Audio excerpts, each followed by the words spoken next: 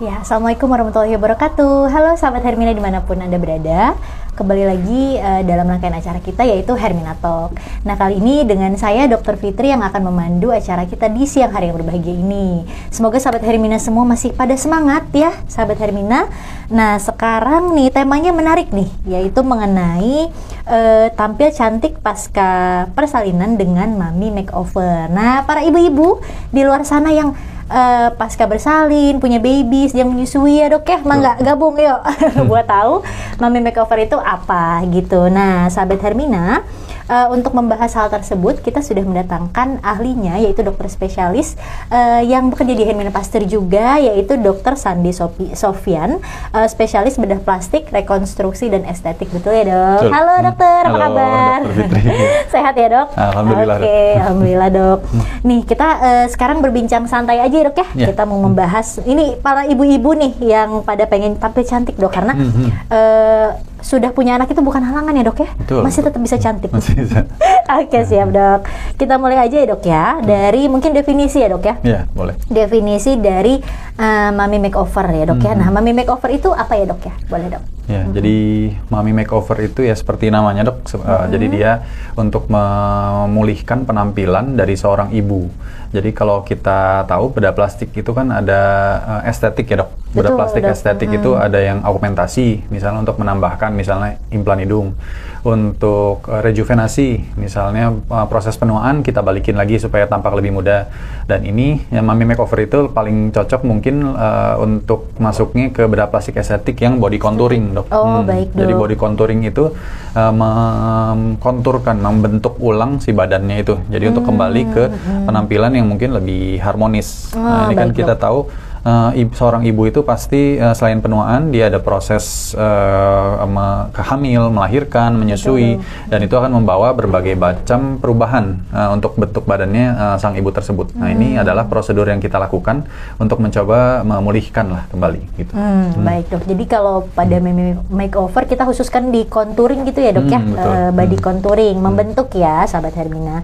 Nah, terkait hal tersebut nih dok, yang dokter udah bahas kan body banyak anggotanya ya dok ya. Mm-hmm. Kalau di tubuh seorang ibu itu dok, biasanya mm. di mana aja dok? Yeah. Yang bisa kita kontur dok. Mm-hmm. Mm-hmm. Jadi kalau bicara soal makeover, uh, jadi bedah plastik itu kepala sampai kaki ya. Betul, jadi kalau untuk ya, mami makeover mungkin kita fokusnya itu ya tadi di bagian-bagian yang memang paling ber uh, terpengaruh hmm. oleh proses kehamilan dan melahirkannya itu. Betul, uh, dari atas ke bawah itu uh, payudara mungkin. Payudara, payudara itu biasanya karena dia ada perubahan volume, jadi hmm. dia uh, ada sempat membesar, terus perubahan mengecil lagi, jadi lebih uh, cenderung kendur gitu. Hmm, uh, betul, dok. Terus lainnya lagi lengan, lengan mirip-mirip sama paha, mirip-mirip sama perut, itu karena pasti ada penambahan berat badan ya dok. Hmm, Kalau misalnya dok. apa uh, dia baru hamil dan melahirkan, hmm. nah itu kita uh, bisa tangani juga. Hmm. Terus gitu. yang lebih spesifik lagi mungkin perut ya dok. Perut. perut. Nah, itu terutama hamil, dok ya. Pasti.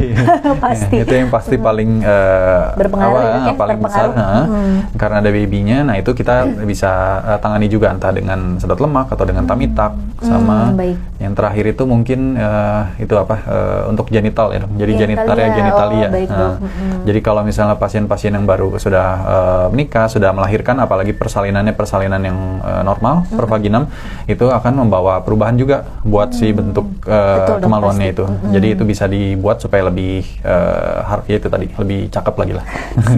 Intinya mencakepkan lagi ya, ya dok. Hmm. gitu oke siap dok. Nah tadi kan dokter udah ada bahas sekilas mengenai misalkan kayak liposuction hmm. gitu ya dok ya. Hmm. Nah kalau di Mami Makeover ini apa aja ya dok bisa di mungkin dijabarkan sedikit ya, hmm. ya dok ya. Hmm. Ya jadi kalau kita lihat dari tadi perbagian badannya uh, dari lengan, perut sama paha itu dia tergantung apakah dia lemaknya doang yang harus kita kurangin hmm. atau dia memang dinding kulitnya itu kendur. Hmm. Kalau misalnya lemaknya doang masih bisa kita pakai uh, liposuction atau sedot lemak. Hmm, Tapi kalau misalnya dia memang dindingnya sudah kendur, uh, misalnya itu tadi lengan, paha sama perut itu kita harus ada bagian yang dibuang mungkin. Hmm. Jadi mungkin paling kelihatan itu di perut ya. Jadi perut itu kan ada yang bergelambir misalnya. Betul, dok. Nah, itu kita buka, kita posisikan ulang. Jadi balik lagi uh, lekuk di bagian uh, pinggangnya itu jadi balik lagi. Karena kita tarik dan kita buang. Hmm, Terus apa tadi kalau untuk uh, payudara ya biasanya itu ya. Biasanya masalahnya itu bukan dari uh, volumenya tapi karena dia riwayatnya sudah besar tapi justru malah turun karena dia kan betul, kulitnya itu kan dia elastisitasnya juga nggak se nggak ada keterbatasannya lah. Nah itu Hmm, bisa kita betul. naikkan lagi. Oh, itu. dinaikin ya Hmm. dok ya, baik. Oh, Eh, sama itu ya tadi Dok? genital ya. Genital Oh, ya. Genital tadi sih. Tadi eh, untuk daerah vagina dan perineum kalau misalnya memang dia ada cedera waktu dari melahirkan normal itu bisa dibantu dikencangkan lagi. Dan yang terakhir itu untuk mungkin untuk bibir ya, bibir, Bibir, kemaluan hmm. Itu karena dia eh, apa? Hmm, sering kali karena dia perubahan volumenya itu juga jadi dia lebih tampak lebih eh, kendur lah Kendur, itu. iya, Nah, betul, jadi itu Dok. dikencangkan lagi. Dikencangkan baik dok. Berarti tadi kan ada liposuction ya dok ya. Hmm. Kalau tamitak yang tadi ya dok ya, yang Nah, dibuang. Jadi tamitak itu Hmm, gimana tuh, Dok, kalau eh, tamitak? Kalau tamitak itu jadi eh, dia ada lemaknya juga, tapi kulitnya perutnya itu juga dia bergelambir. Hmm, jadi kulitnya itulah yang kita tarik ke bawah Yang supaya tadi, dia ya. konturnya balik Hmm. lagi, baru yang berlebihan itu dibuang, baru dijahitkan. Gitu. Hmm, baik. Biasanya siap, itu Dok. bareng sama itu juga tuh ngencengin si otot perut. Otot perut Nah, ya. otot perutnya karena dia kalau hamil kan dia jadi kan kalau six pack itu dua baris gitu, eh dua kolom gitu ya. Nah itu dia terpisah, jadi itu kita satukan lagi. Hmm, baik dok. Wah menarik nih ya ibu-ibu yang lagi nonton ya dok ya. Ya. Oke, nah ini dok, mungkin ada beberapa pertanyaan juga dok. Hmm. Eh, misalkan nih pasiennya tuh baru banget lahiran dok, Hmm. atau eh, lagi SC, misalkan lahirannya Ya. SC gitu dok. Hmm. Nah itu kalau tindakan tadi nih dok, itu maksudnya mungkin gini, di SC sekalian aja deh gitu dok. Nah, iya. Bisa nggak sih dok?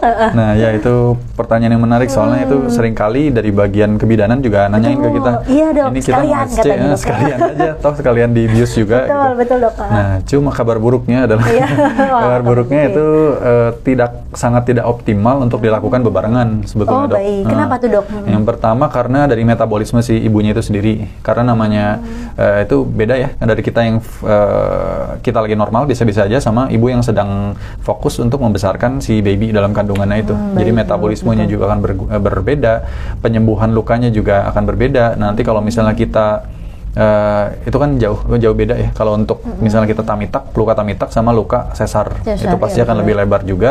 Untuk penyembuhan lukanya takutnya malah akan berpengaruh. Hmm, Dan baik. Dari hasilnya pun itu sebetulnya nggak optimal karena itu tadi dia masih eh, fluktuatif berat badannya dan dia masih metabolisme berbeda dan kalau misalnya kita paksain bareng sama si melahirkan dan si apa persalinan eh, seksionya itu takutnya hasilnya pun nggak eh, nggak semaksimal mungkin gitu karena dia baik, Dok. masih eh, naik turun gitu. Hmm, baik dok. Berarti Lebih baik menunggu Mm, sebetulnya. menunggu. Nah kira-kira berapa lama ya dok? Nah, itu idealnya sih setelah si ibu itu melahirkan kita kasih pro, pros- apa, eh, fase penyembuhan selama enam bulan lah. Enam bulan Nah, enam kurang bulan lebih ya, Dok, recovery ya. dulu Hmm. baru bisa. Nah, Memang eh, idealnya maksudnya kan masih menyusui juga mungkin ya, dok Betul, ya. Heeh, ah, jadi hmm. bagusnya enam bulan ke atas justru ya Iya, dok ya. enam bulan ke atas. Nah, pas ya. minimal itu enam bulan. Betul minimal banget enam bulan ya Iya, dok ya.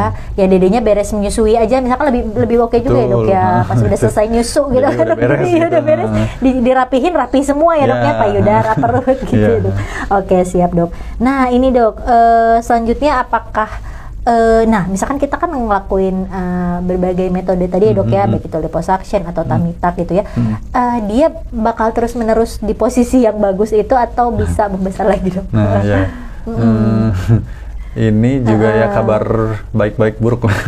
Iya, dok. Jadi hasil prosedur sebetulnya bukan cuma make makeover tapi prosedur bedah plastik apa pun yang kita lakukan itu bahkan yang tadi yang merejuvenasi sekalipun kita ngas kita balikin ke posisi yang lebih muda.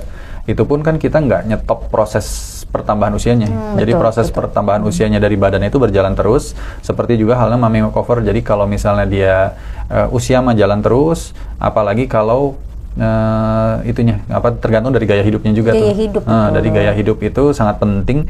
Jadi eh, sebetulnya untuk menjaga tetap seperti itu ya harus dari pasiennya juga harus kooperatif. gitu. Nah, Eh, itu, Dok. Setuju, Jadi Dok. apa jaga makan, jaga eh, olahraga gitu. Betul. Jadi- Karena kan targetnya bukan bentuk tubuh terus, maksudnya bagus terus, tapi di dalamnya gitu ya dok ya kesehatannya betul. kurang baik Hmm. gitu. Jadi sahabat Hermina memang diimbangi ya dok ya. Iya, betul. Gaya hidup harus sehat, bentuknya juga oke. Betul, gitu ya, betul. Dok.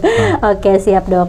Eh, berarti eh, cara caranya merawatnya gimana ya dok? Misalkan habis Hmm. tindakan gitu dok. Ya, Eh, itu tadi ya. Jadi biasanya kita kalau pasca operasi itu kita ngomong soal scar bekas luka sama soal dari si hasil contouringnya itu sendiri. Hmm, baik dok. Kalau untuk scar itu kita adalah kiat-kiatnya sendiri untuk merawat si scarnya. Kita peng- Hmm. teknik operasinya, penggunaan benang yang eh, mana yang paling bagus buat daerah perut situ.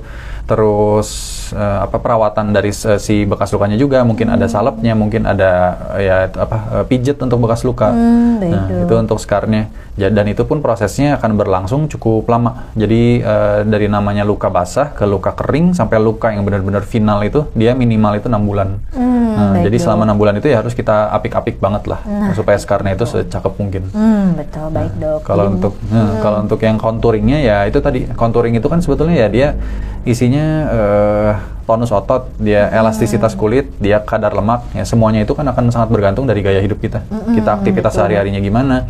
Apakah kita olahraga? Apakah kita jaga makanan? Nah itu itu untuk mempertahankan hasilnya supaya tetap eh, bagus. Gitu. Hmm, baik dok. Jadi eh, yang pasca tindakan pun intinya nggak lepas gitu aja ya Iya, dok ya, gitu. Jadi mbak mesti kontrol dok. langsung jadi gitu. Iya, harus sabar ya Harus dok ya, sabar. gitu untuk hasil yang optimal ya Iya. tentunya ya dok ya.